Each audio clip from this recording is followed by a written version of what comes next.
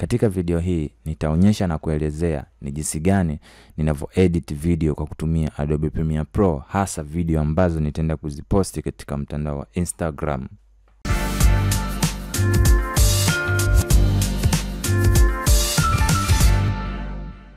Labda niwaweke sawa, video yoyote ambayo unavyoiona imekuwa posted au video yoyote ambayo umeona imepandishwa mtandaoni, si kwamba imekuwa nzuri kwa sababu ya editing nzuri. Hapana, video nzuri inajumuisha urekodi mzuri, yani toka unavyoanza kushuti umeishuti kwa mpangilio na kwa ustadi wa hali ya juu, ukaenda ukaiediti kwa ustadi wa hali ya juu, basi video yako itakuwa nzuri.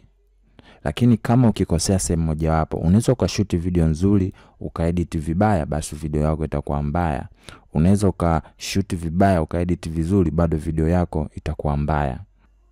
Na ndio maana mimi kabla sijaanza kurekodi nachunguza kwanza settings zangu ziko sawa, kuhakikisha napata picha safi, na pia napenda kutumia gimbo au stabilizer kuhakikisha napata video yenye mijongeo ambayo ni smooth isiyokuwa na mitikisiko kabisa. Baada ya kuwa kila kitu kipo sawa, ndipo ninapoanza kurekodi. Stand by. Camera roll. Usicheke kwa serious kidogo. And action.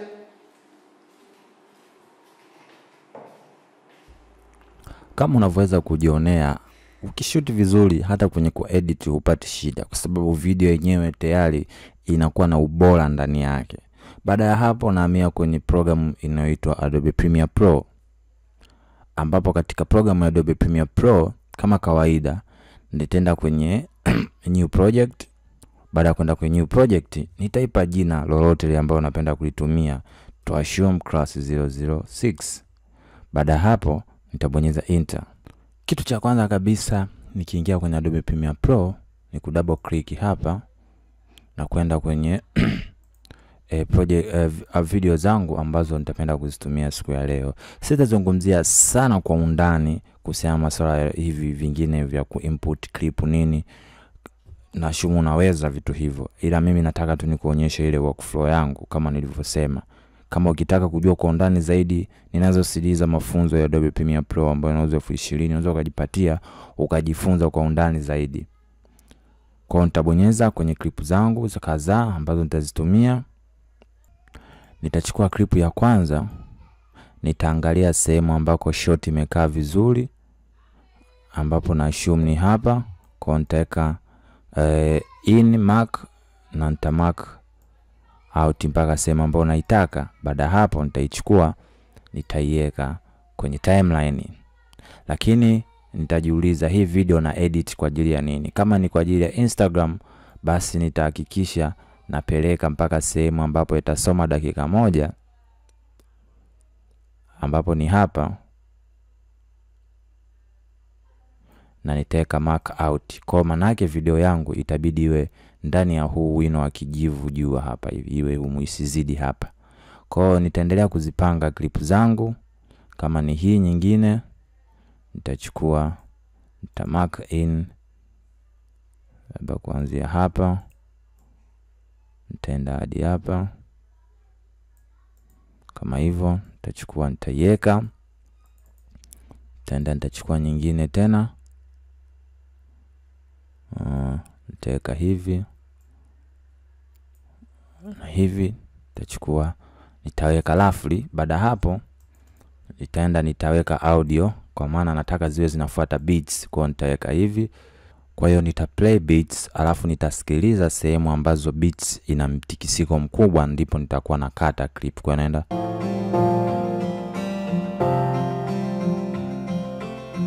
hapo, nitakata maana yake ije clip nyingine, nitaweka hivyo.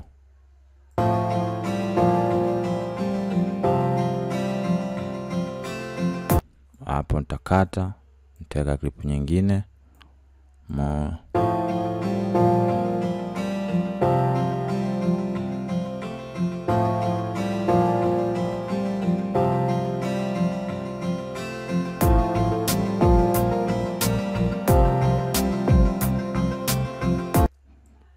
nitakata hapa, tenda kwenye clip nyingine. Mathalani hii.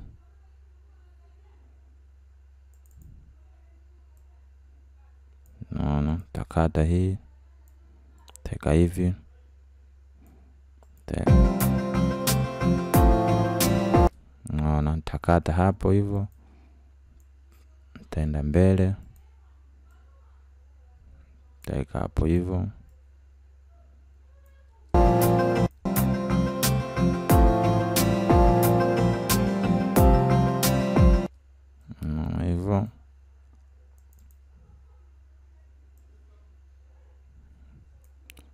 Ta input clip nyingine. Ah, labda hii.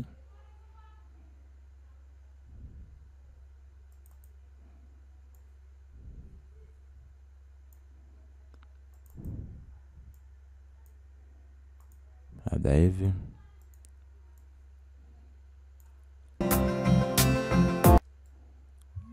Naona tarudisha nyuma, labda hapa hivi, teka hivi, kwa itaanza mwanzo.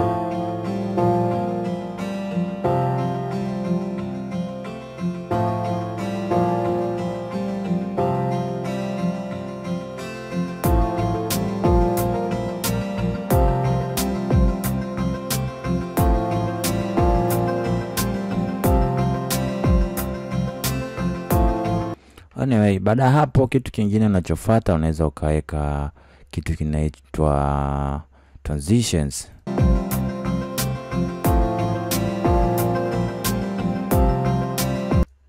Unaona hapa hivi, unaweza ukaweka transitions. Transitions zipo za aina nyingi, kunaweza ukaenda kwenye transitions, ukaenda kwenye dissolve, ukatumia hata additive dissolve, kwa mfano hii, kwa ukaenda umeona, labda ukaenda kwenye additive dissolve kama hii, ukaenda kwenye effect control, ukaiweka ikawa ndogo kabisa kama hivi, kwa itakuwa inaenda. Umeona, kama hivyo, teka kubwa kidogo ili iweze kuonekana. Yap, kama hivyo. Lakini kuna ambazo zime advance zaidi ambazo mi napenda kuzitumia, unaweza ukazigoogle online tu ukaandika vyovyote vile ukaandika tu transitions basi uh, uh, zikaja. Kwao. mimi takachokifanya hapa uh, tayari na transition zangu hizi naziita Thumos transitions. Umeona kama hivyo. Kwao nitatafuta sehemu kama hivyo nitaziweka. Mfano nitataka ya e, ya, ya, ya, ya kuzoom in. Ko nitaenda kwenye new adjustment teka ok baada ya hapo nitaiweka hii transition hapa. Kwa haraka haraka tu kuonyesha kwamba kila kitu ni possible. Umeona? Kama hivyo unaweza kuona, utaenda moja mbili. Takati, utaenda moja mbili. Takati kama hivyo. Baada hapo nitaenda kwenye kwenye eh, kwenye kwenye eh, effect yangu. Unaona kama hivyo, ambapo tachukua hii takat hapa na hapa, unaona kwa nitachukua huyu nitaapply hapa,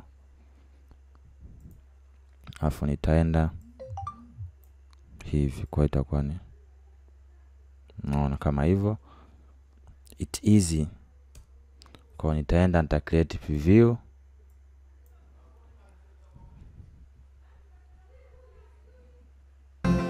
Unaona kama hivyo. Kwa itakuwa clip yangu inaenda. Unaona kama hivyo. Unaona kwa nitachukua huyu. Tamkopi tamweka hapa kila sehemu utamkopi na kumpesti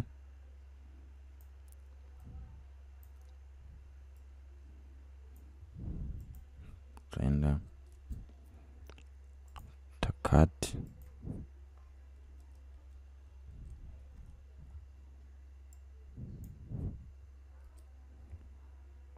kati kama hivyo.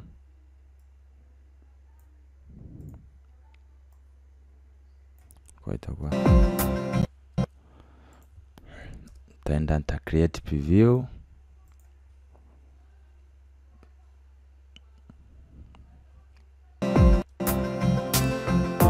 Mm. kama hivyo.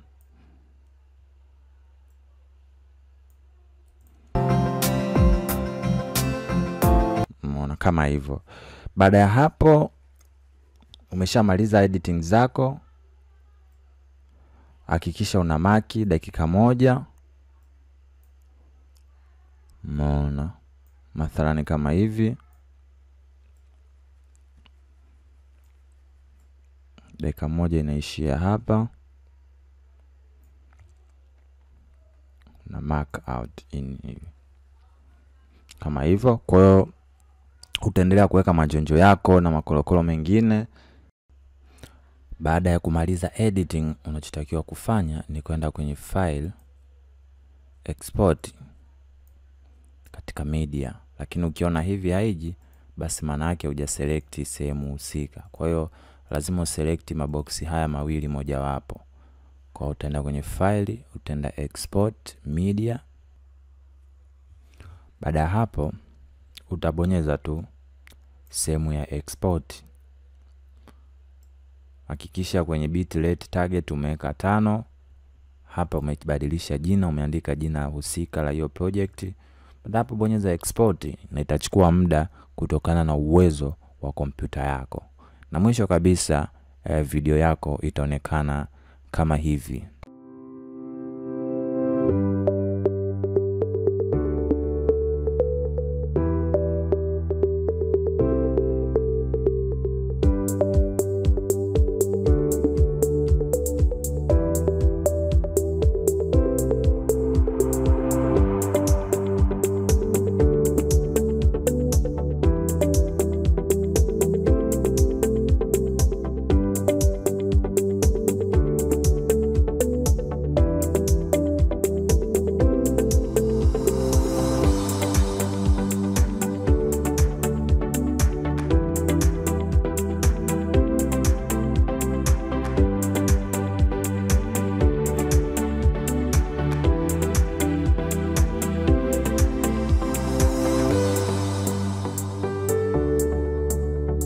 asante sana kwa kuangalia tutulio hii. Natumaini kuna mambo mawili matatu umeweza kujifunza. Lakini kabla ya yote nakushauri au nakukaribisha kuweze kusubscribe katika chaneli yangu kwa sababu kuna mengi zaidi ya kujifunza. Lakini pia kama hujaipenda video hii kuna button ikionyesha kwamba hujapendezwa ambayo inaonyesha kidole gumba kikionyesha chini. Unaweza kukibonyeza hivyo ili nionye kabisa kwamba hukupendezwa na video hii basi nami nitatengeneza video nyingine nyingi zaidi ambazo nahakikisha mojawapo itaweza kukufurahisha na kuwa mfuasi wangu katika chaneli hii